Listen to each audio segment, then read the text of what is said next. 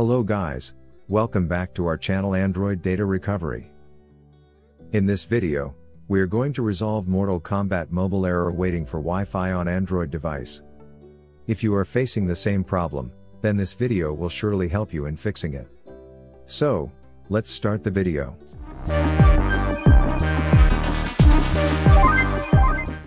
But before heading towards the solutions, make sure to like and subscribe to our YouTube channel. Now, let's move on to fix Mortal Kombat mobile error waiting for Wi-Fi with 5 best fixes. Solution 1. Check your internet connection. If your internet connection is disturbed or continuously fluctuating then this can generate this error. So, ensure that your device is connected to a strong internet while playing the Mortal Kombat mobile game. To do so, turn off and turn on the mobile data. Switch from mobile data to the Wi-Fi connection. Enable and disable the airplane mode. Solution 2, reopen Mortal Kombat mobile app. Sometimes app's internal issues might cause such problems. Therefore, it is suggested to relaunch the Mortal Kombat mobile app once to get rid of internal problems along with fixing error waiting for Wi-Fi. Solution 3, Clear Mortal Kombat mobile app cache and data.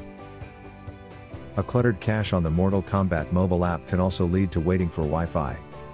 Thus, clear the temporary app's data and get rid of the issue. For this, navigate to Settings, then Apps and Notifications or App Management.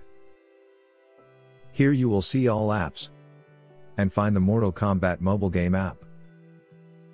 On the apps page, choose Storage, and then clear storage or clear data. Finally, restart your phone. Solution 4 Contact Mortal Kombat Mobile Support. If despite all your efforts, the error persists, reach out to Mortal Kombat Mobile Support Team by visiting https colon slash slash slash hc slash ns for further assistance.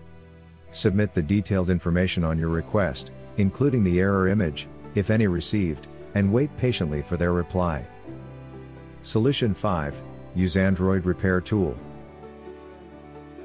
If you are looking for a quick way to resolve Mortal Kombat mobile app not opening black screen or keeps crashing problem, then there is no better option than using the Android Repair Tool.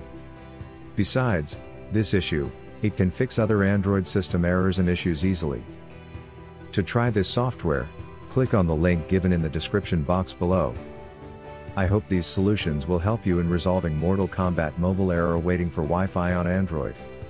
If you found this video useful, then give it a like, share it and also don't forget to subscribe to our channel to watch more useful videos. Thanks for watching.